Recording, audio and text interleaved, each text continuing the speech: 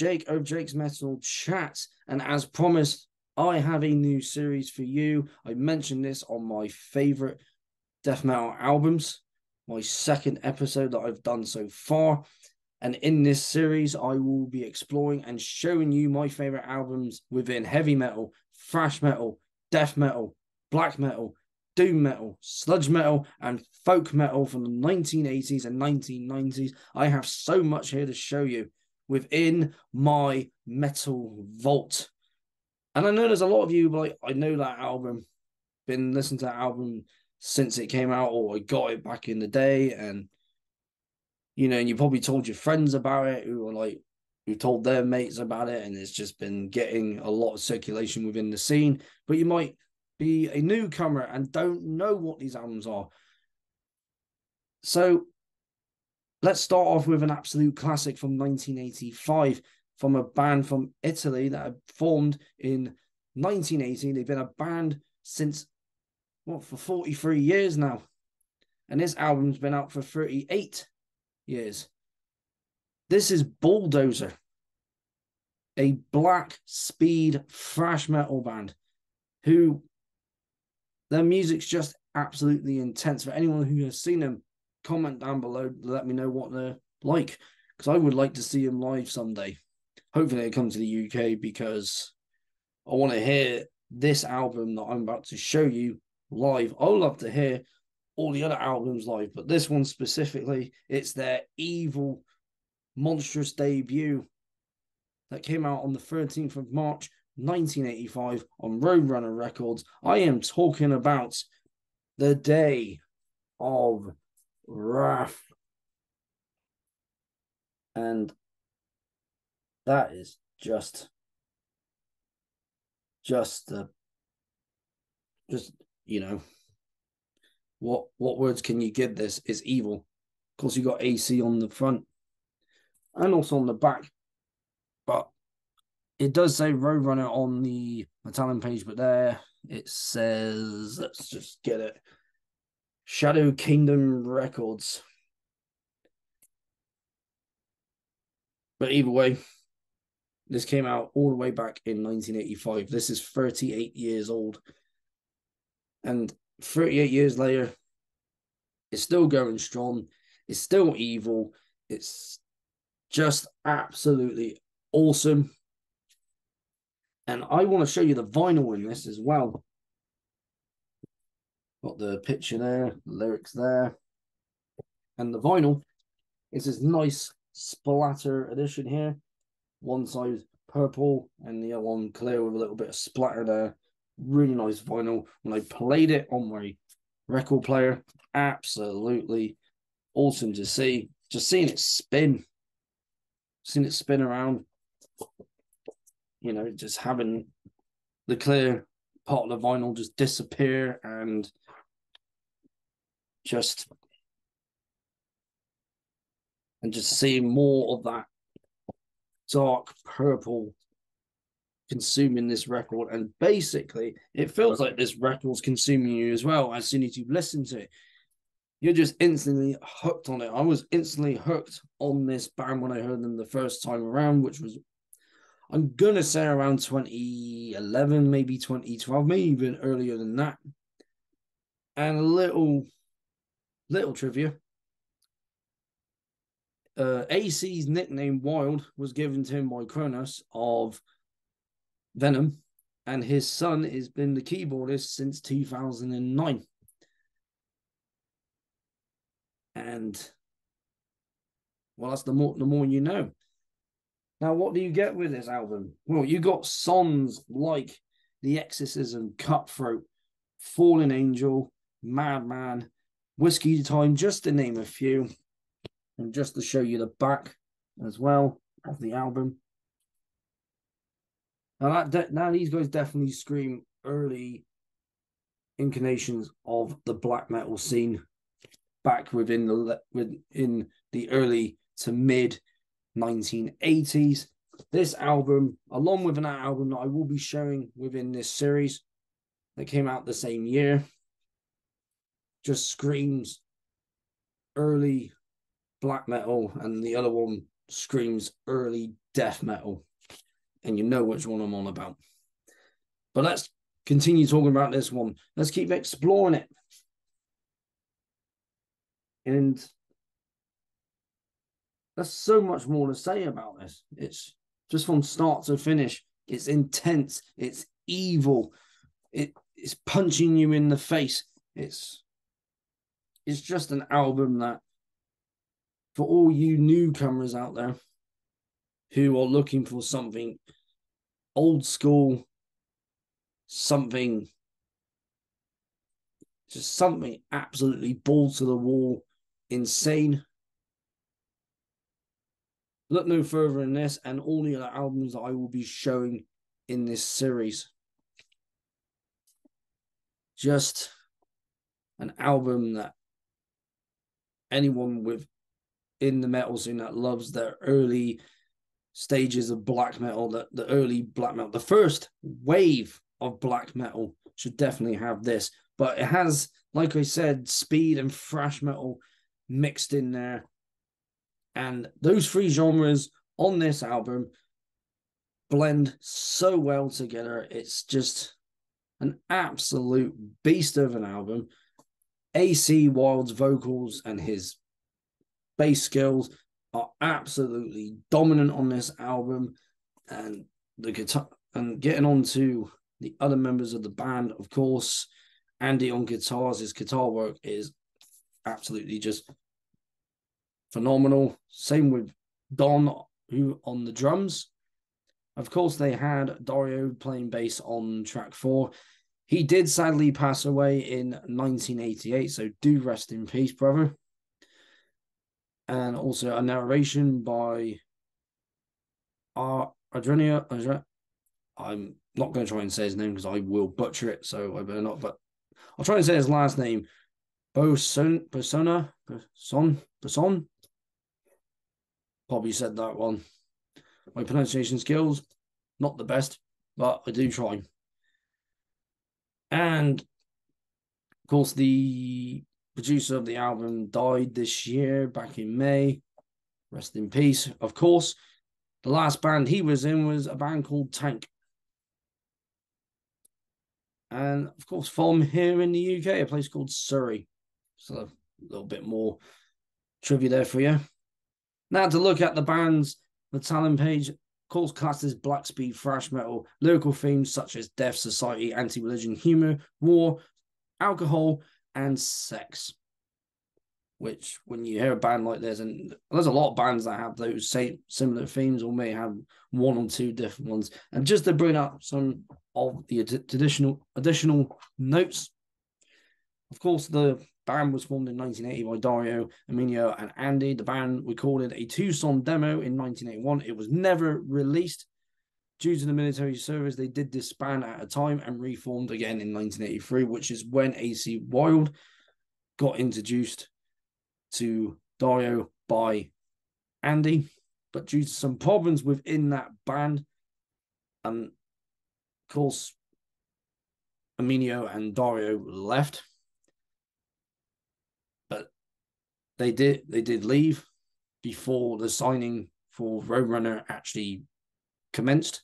So so they were not in the band when when the band actually signed with Roadrunner. And Don did join the band, obviously on bass, but switched switched his instrument to drums as as to why he plays drums on this absolute beast of an album. So AC took over on bass as well as vocals. And to end on this note, the real bulldozer was born. Absolutely just one hell of an album. And let's raise a beer to it, raise a beer to the band. Cheers.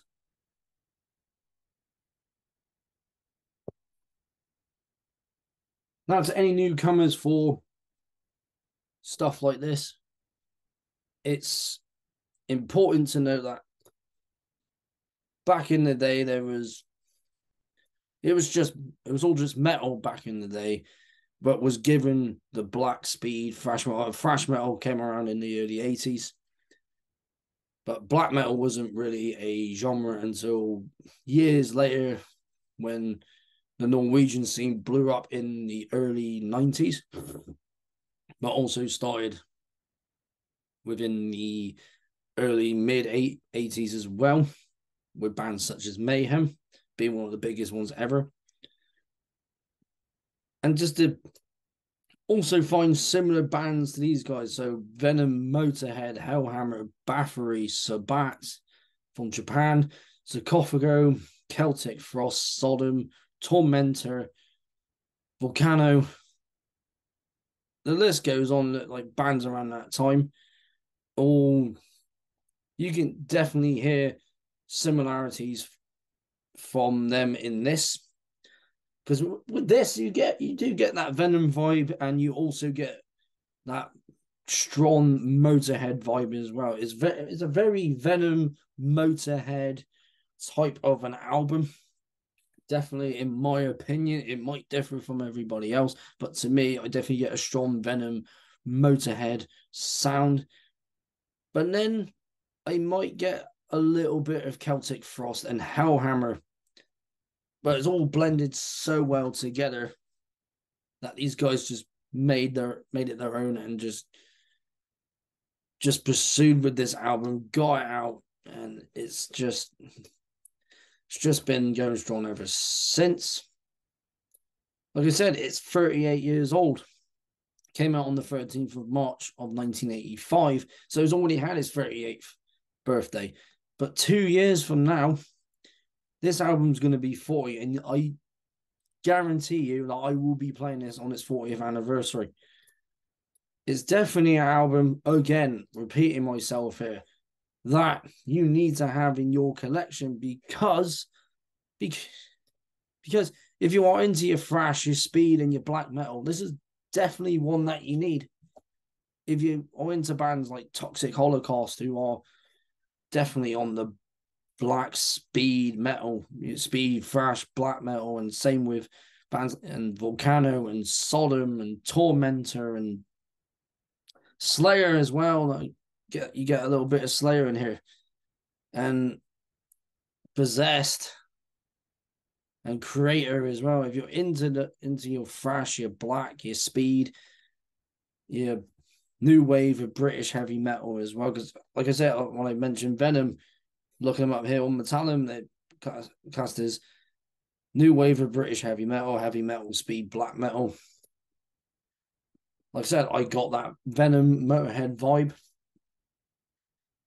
It's one for all underground heavy metal maniacs, heavy metal fans, fans of metal who have been fans of metal since since the 1980s, since the 90s, since the 2000s and 2010s and the and this decade.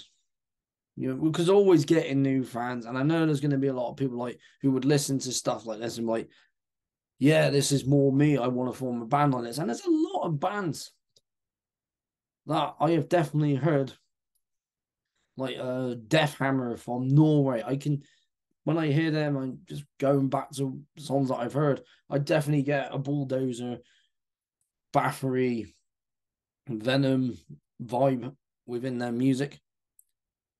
And there's so many other bands, but just as I'm showing this album, definitely there's bulldozer within Deathhammer.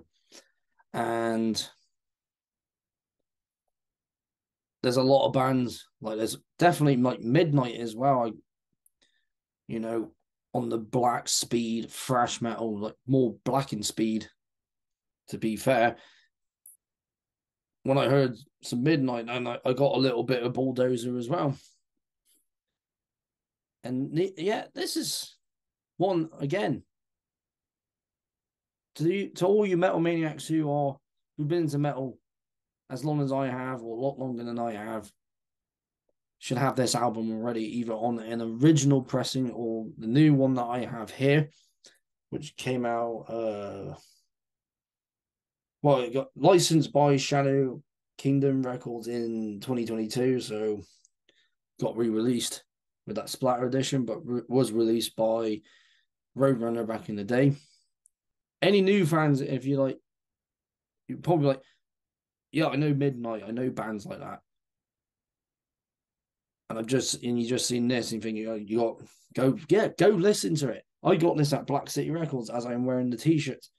Here, the first t-shirt design, the logo and where the shop's based, and you know, Black City Records had it.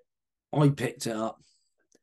Most of the stuff I will be showing within my videos, be it this series, my favorite death metal albums, uh, my collection videos, it will all be from Black City. Some will be from gigs, some will be from mates who like t- saying here's a here's a band to check out, and they give me a CD and I'll listen to it. I love my death metal, of course. I love my thrash metal. I love my black metal. Of course, speed. Another one, speed metal, will also be featuring here in the vault. And this has all three.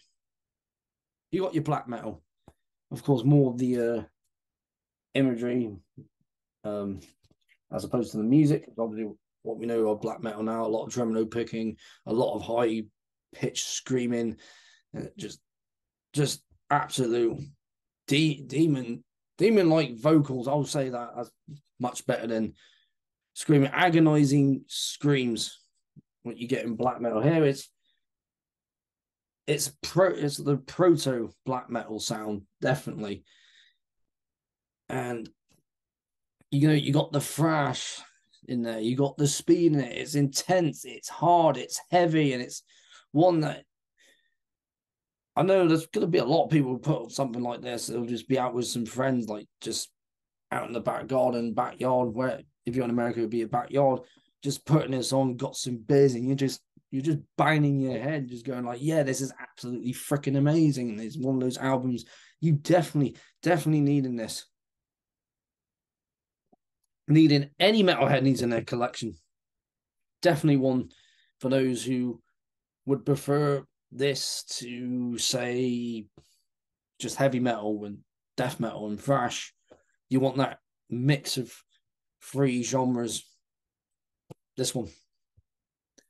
Bulldozer, The Day of Wrath from 1985.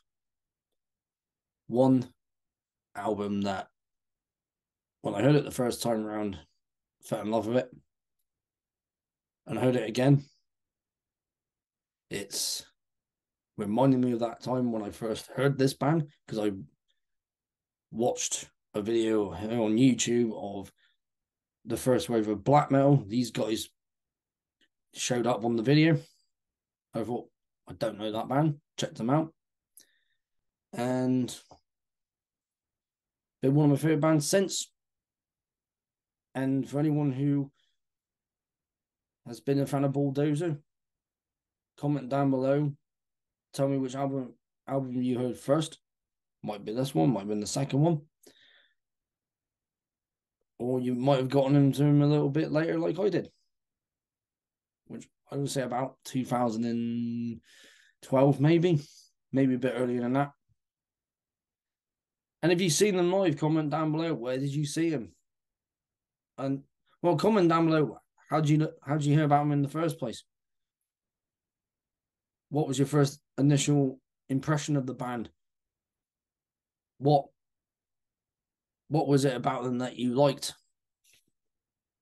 You know, so whatever it is, comment down below and just let me know what you think of the band. And for any newcomers,